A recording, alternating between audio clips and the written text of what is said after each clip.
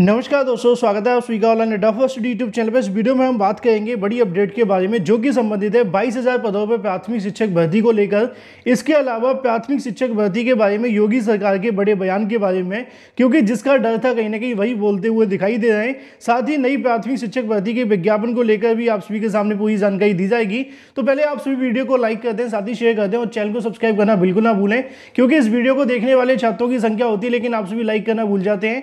हमेशा इस चैनल के माध्यम से आप सभी को सटीक जानकारी देने का कार्य किया जाता है। इसीलिए लाइक अवश्य कर दिया करें, साथ में शेयर करना बिल्कुल ना भूलें। खंड शिक्षा अधिकारी को लेकर मैंने जल्दी एक वीडियो बना दी, इसको लेकर जानकारी देखने के लिए मिली है कि नोटिफिकेशन के माध्यम से रिक्त पदों की जानकारी मांगी जा रही है और बहुत जल्द आपको खंड शिक्षा अधिकारी की जो भर्ती है वो देखने के लिए मिलेगी, जिसको लेकर थोड़ी देर पहले मैंने वीडियो अपलोड भी किया था। तो ऐसे में सबसे पहले जानकारी आपको यहीं से मिलती है, इसीलिए चैनल को सब्सक्राइब करना बिल्कुल ना भूलें। अगर बात की जाए सबसे बड़ी अपडेट को लेकर, जो कि संबंधित है प्राथमिक शिक्षक भर्ती के बारे में, लेकिन उससे पहले बाईस को लेकर आप सभी को बता दूँ कि उत्तर प्रदेश के अंदर लगातार कई धरना प्रदर्शन जारी हैं। एक बाईस हज़ार को लेकर तो दूसरा आरक्षण को लेकर, तीसरा नई प्राथमिक शिक्षक भर्ती को लेकर। आज की तारीख में बाईस हज़ार को लेकर कहीं ना कहीं सीएम योगी के आवास को घेराव किया गया था। बाईस हज़ार के अभ्यर्थियों की तरफ़ से, जिनकी तरफ़ से मांग की गई कि बाईस हज़ार पदों पर प्राथमिक शिक्षक भर्ती का जो विज्ञापन है वो जारी किया जाए। और यहाँ पे जो विज्ञापन जारी किया जाए मतलब शासन आदेश जारी करने की बात की गई है, विज्ञापन तो नहीं करेंगे। शासन आदेश जारी करते हुए उनहत्तर हज़ार शिक्षक भर्ती के अभ्यर्थी को नियुक्तियाँ दी जाएँ। यहाँ पे आप सभी को देखने के लिए मिलेगा कि शिक्षक भर्ती के अभ्यर्थियों के माध्यम से जोरदार प्रदर्शन करते हुए सीएम योगी के आवास का घेराव कर लिया गया। अभ्यर्थी ने प्रदर्शन करते हुए एक लाख सैंतीस हज़ार भर्ती को लेकर पूरा करने की मांग की गई। ऐसे में अभ्यर्थी सड़क पर बैठे हुए थे। पुलिस ने उठाकर अभ्यर्थी को इको गार्डन भेज दिया।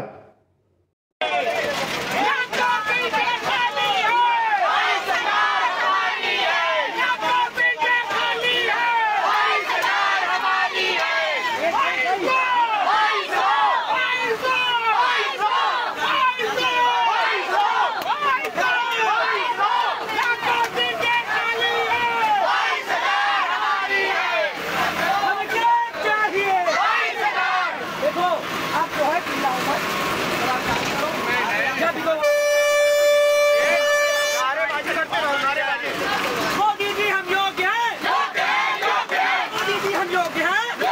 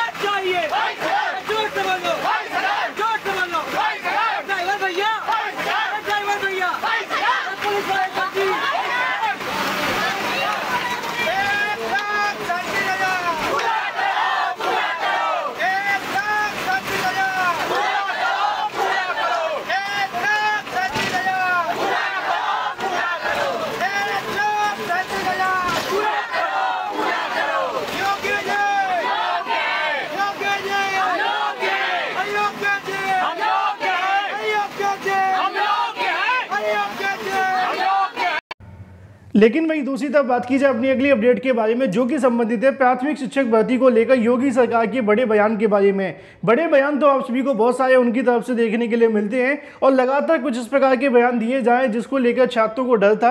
उत्तर प्रदेश के अंदर नई प्राथमिक शिक्षक भर्ती को लेकर लगातार छात्रों की तरफ़ से मांग की जा जाए धरना प्रदर्शन किए जा रहे हैं और अभ्यर्थी इस उम्मीद में धरना प्रदर्शन कर रहे हैं कि जल्दी से नई प्राथमिक शिक्षक भर्ती का विज्ञापन जारी किया जाए। लेकिन ऐसे में अगर बात की जाए नई प्राथमिक शिक्षक भर्ती को लेकर, सरकार सरकार की तरफ़ से क्या बयान दिए जा रहे हैं, उसको आप अवश्य सुने, क्योंकि जब जब यहाँ से मांग की जाती है या फिर पूछा जाता है, मंत्री, विधायक या फिर योगी सरकार के किसी भी अधिकारी से कि भाई नई प्राथमिक शिक्षक भर्ती का विज्ञापन कब तक जारी होगा तो उनकी तरफ़ से क्या जानकारी दी जाती है, आप सभी यहाँ से सुन सकते हैं।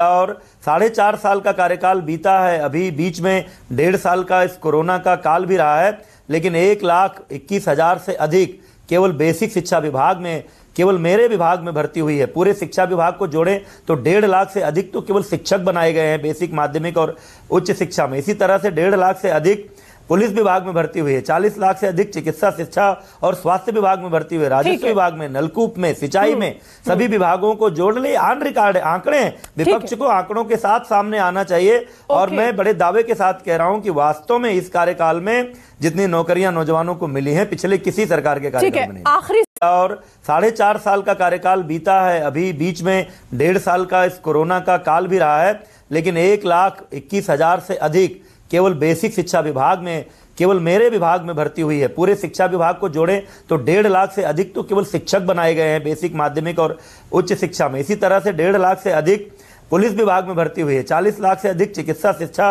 और स्वास्थ्य विभाग में भर्ती हुई है। राजस्व विभाग में नलकूप में सिंचाई हम्म। में सभी विभागों को जोड़ ले आन रिकॉर्ड आंकड़े विपक्ष को आंकड़ों के साथ सामने आना चाहिए। और मैं बड़े दावे के साथ कह रहा हूँ की वास्तव में इस कार्यकाल में जितनी नौकरियाँ नौजवानों को मिली है पिछले किसी सरकार के कार्यकाल में आखिरी तो जैसा कि दोस्तों आप सभी ने यहाँ से सुना कि अगर बात की जाए बेसिक शिक्षा मंत्री सतीश चंद्र द्विवेदी जी की तरफ़ से यहाँ पे जानकारी दी जाती है, लगातार कई पत्रकारों की तरफ़ से कई न्यूज़ चैनल्स के माध्यम से सरकार के सामने ये सवाल रखा जाता है कि प्रदेश के अंदर शिक्षकों को लेकर लगातार धरना प्रदर्शन जारी है, चाहे वो अलग अलग मुद्दों को लेकर हो, नई प्राथमिक शिक्षक भर्ती, इसके अलावा बाईस या फिर इसके अलावा जो भी धरना प्रदर्शन जारी है, ऐसे में जब जब इन मुद्दों को लेकर उठाया जाता है तो यहाँ पर बेसिक शिक्षा मंत्री हो या फिर अगर सरकार के मुख्यमंत्री या फिर कोई भी उनकी तरफ़ से हमेशा की तरह एक ही प्रकार के बयान देखने के लिए मिलते हैं कि उत्तर प्रदेश के अंदर पिछले चार सालों के अंदर चार लाख लोगों को रोज़गार दिए गए हैं, दो लाख से ज़्यादा शिक्षकों की भर्तियाँ कर दी गई हैं और भी तमाम इस तरह की बातें आप सभी ने इससे पहले सुनी है।